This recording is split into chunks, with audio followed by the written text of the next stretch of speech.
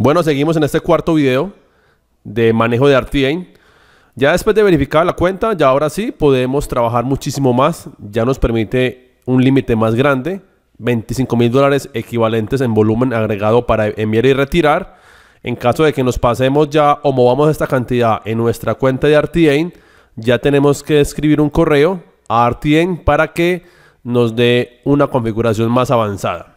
Ahora lo que vamos a hacer es recargar nuestra cuenta de RTA. ¿Cómo hacemos para fondear, se llama así, o recargar nuestra cuenta de RTA con saldo de nuestra cuenta bancaria? O puede ser con otros métodos, ¿sí? Hay muchísimos métodos para hacerlos, pero digamos que el más común en cada país siempre es como con la cuenta bancaria. Para eso vamos a darle clic acá donde dice fondear y retirar. Aquí nos pregunta qué deseas hacer. Está la opción de fondear, que viene a ser recargar nuestra billetera de RTA para tener saldo aquí en RTA. O retirar, si es que queremos retirar de este balance, que de este es algo que tenemos acá, retirarlo a algún método que queramos hacer. Entonces, en este caso vamos a fondear. Vemos arriba que tenemos 1, 2, 3, 4 pasos.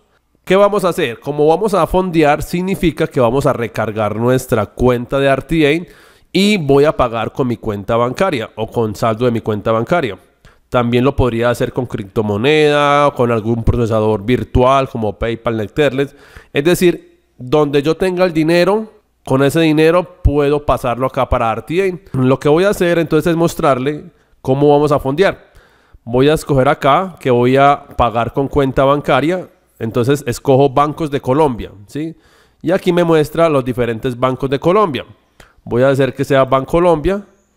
Y dentro de Bancolombia voy a pagar con cuenta de ahorros, eh, porque también sale la corriente y sale la empresarial. En este caso, la cuenta de ahorros. Y aquí me muestra cuánto es un dólar en RTN equivalente en pesos. ¿Sí? Aquí me las muestra. 4.031 pesos. Una vez escoja en tu país el banco con el cual quiere recargar, entonces lo seleccionas y le va a mostrar al frente cuánto equivale un dólar RTA en la moneda o en el procesador que hayas escogido. En este caso yo voy a escoger cuenta Bancolombia de ahorros. La escojo. Luego me muestra aquí qué cantidad voy a recargar.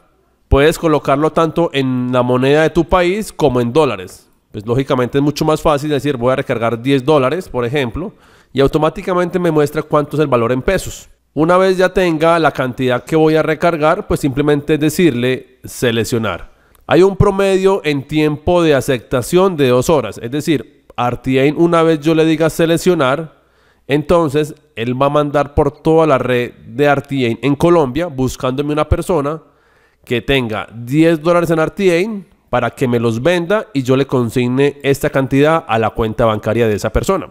Entonces yo le digo seleccionar. Aquí me dice confirma la información Colombia, Bancolombia de ahorro, me muestra lo que es la cuenta bancaria, lo, está mi cuenta, el número de cédula y una vez ya confirme que estos son los datos reales míos, le digo enviar solicitud. Y RTA va a empezar a buscar en todo Colombia quién tiene 10 dólares en RTA para que me los venda y terminemos la transacción como tal.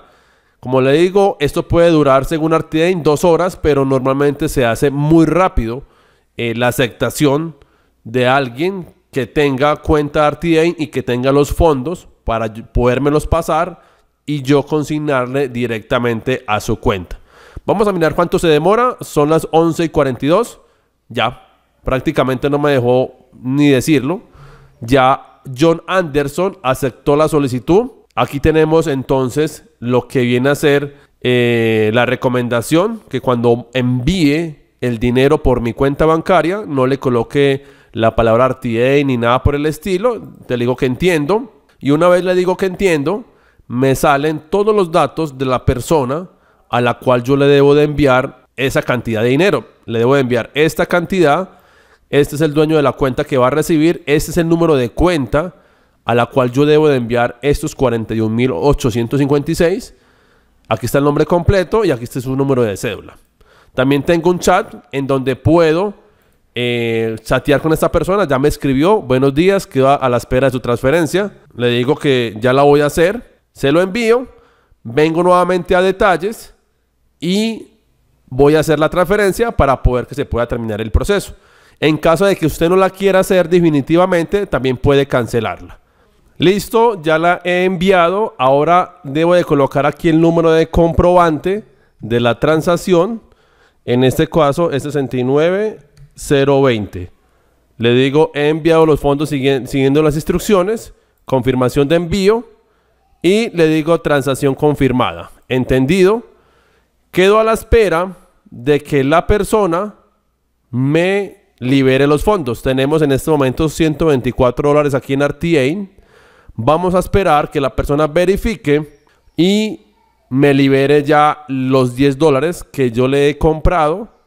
Una vez él apruebe, RTA automáticamente suma sus dólares a mi cuenta de RTA. Le voy a colocar aquí en el chat que ya lo envié. También le puedo enviar aquí el comprobante. Voy a enviárselo aquí en el chat. Le digo a este icono que está acá, que es adjuntar un archivo. Voy a buscar el comprobante. Le digo abrir. Y ya con eso le he enviado el comprobante que él podrá mirar y verificar lo que le he transferido. Este es el comprobante que le he enviado. Aquí salen los datos y el número de comprobante, la fecha y la hora en el que estoy haciendo este video en este momento. Listo, ya él me escribió que va a verificar, va a verificar y una vez verifica, aprueba y los fondos pasan a mi cuenta de RTA. Es así de sencillo. Como nos dimos cuenta, vemos que la manera en cómo podemos fondear o recargar nuestra cuenta de RTA directamente con nuestra cuenta bancaria es muy fácil. Mire, ya aquí dice fondos agregados exitosamente y vemos que ya nos ha sumado los 10 dólares a mi balance general de RTA y por aquí me llegó una notificación. Aquí están. También puedo ver aquí en la parte de actividad lo que he realizado en transacciones y vemos que aquí está lo que es fondeo, 10 dólares. Este compañero fue el que me hizo la transacción el día de hoy, 30 de abril, y el método de pago que escogí fue la cuenta bancaria y el estado fue completado. Es así como se fondea o se recarga la cuenta de RTN. Puedes escoger muchos métodos para fondear, no solamente la cuenta bancaria. Puedes, incluso aquí donde dice más métodos de pago, eh, le puedes dar clic ahí y puedes escoger diferentes métodos con los cuales puedas recargar tu cuenta de RTN. Banco, eh, efectivo, eh, criptomoneda, monedero electrónicos como PayPal, Anecteller, Skrill, tarjetas de regalo de Amazon, se tiene lo que es tarjeta de eBay, Google Play, todo este tipo de formas de fondear tu cuenta de RTA se puede hacer. La parte móvil también, muchos países tienen eh, diferentes tipos de aplicaciones para mover dinero. Aquí, por ejemplo, en Colombia es David Plata y Neki, que son los que más se mueven. Todos estos métodos también los puedes usar para fondear tu cuenta de RTA. Vamos al siguiente video donde vamos a aprender cómo retirar entonces ya nuestro dinero a nuestra cuenta bancaria y así poder reclamar siempre las comisiones de BigCommerce.